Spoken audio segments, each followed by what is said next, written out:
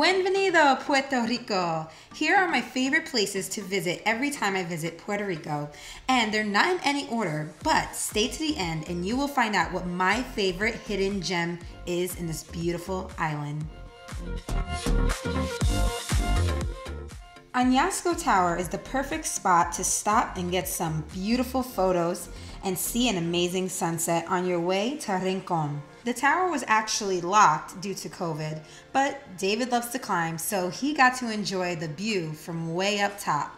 Rincon is a popular tourist town, and I found it to have the most rockiest beaches I've been to on the island, but there was some great snorkeling around.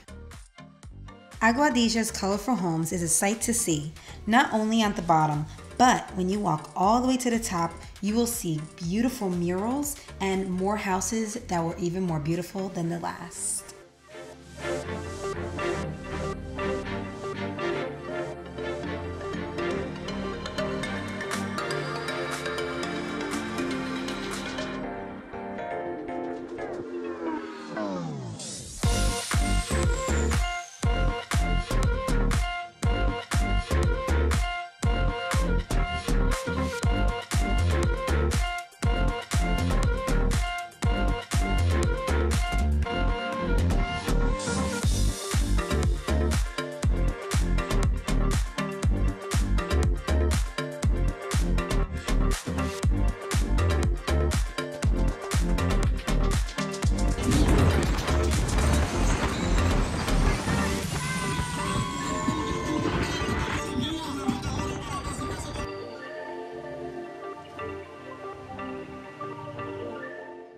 Cueva de las Golondrinas, which translates to the Cave of Swallows. This is a small hidden beach where the swallow bird lives inside the cave. We went during the high tide at nighttime, so the water was pretty rough. I suggest going early morning and wear water shoes because you don't want to cut yourself on a sea urchin or the rough rocks.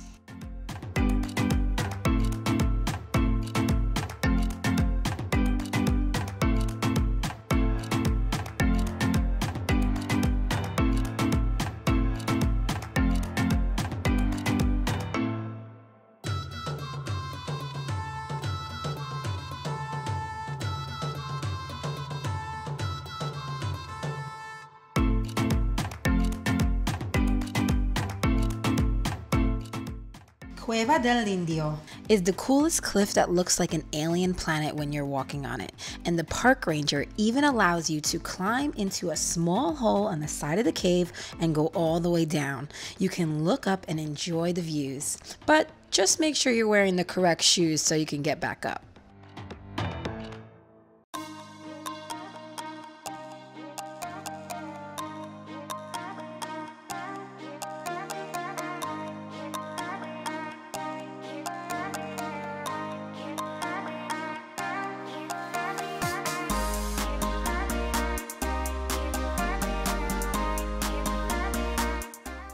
Yauco's colorful homes are painted by the same artist from Aguadilla, but walking up the town is way more steep than Aguadilla. They both, though, are beautiful in their own way and worth a visit when passing Ponce.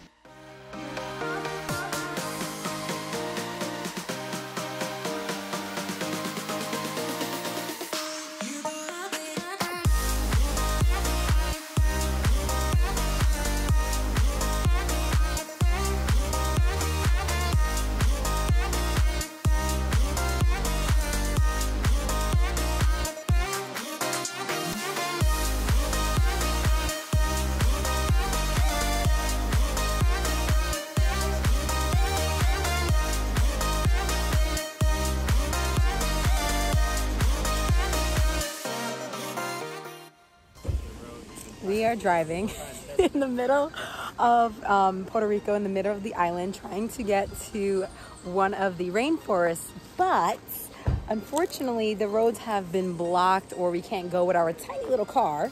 So we took another road and now it's blocked again from a landslide, a mud landslide that probably happened during a hurricane.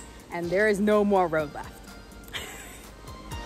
Las Cajas Waterfall is smaller than one of my favorite waterfalls, Gozalandia. in San Sebastian.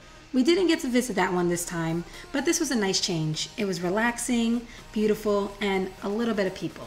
Perfect to swim in after a nice long day. Woohoo! This was a bucket list cross off. I- am so excited that I got to do. I've never been ziplining before, and neither have my friends, so we all got to experience Toro Verde Adventure Park for the first time together.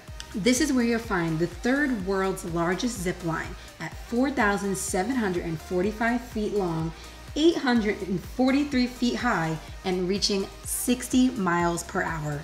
And you'll notice my reaction at the end of this clip of how excited I was. So, needless to say, this is definitely a experience you need to put on your next adventure.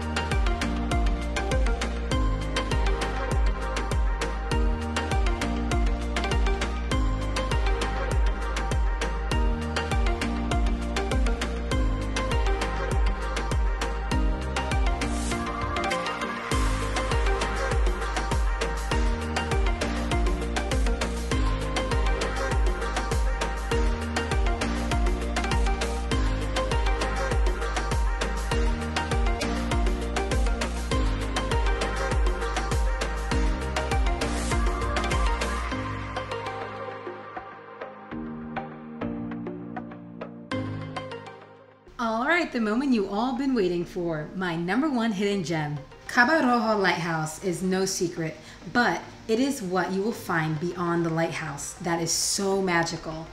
After making your way all the way to the top of the lighthouse, you can stand over the cliff, do a little meditation, and then you can pick to go to the right or left side first. I suggest going to the right where you can find a bunch of rock formations, things you can climb, cool caves, and if you have snorkeling gear, you can head out and go all the way around the cliff into the ocean where you were first looking down from the lighthouse. Then make your way to the left side of the lighthouse and you will find Playa Sucia. And this beach is anything but dirty.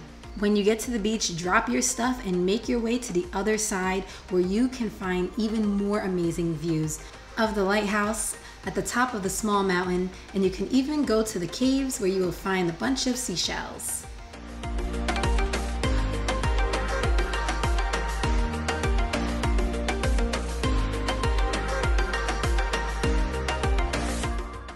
I hope you enjoy this video as much as I love creating it. Don't forget to like and subscribe. See ya!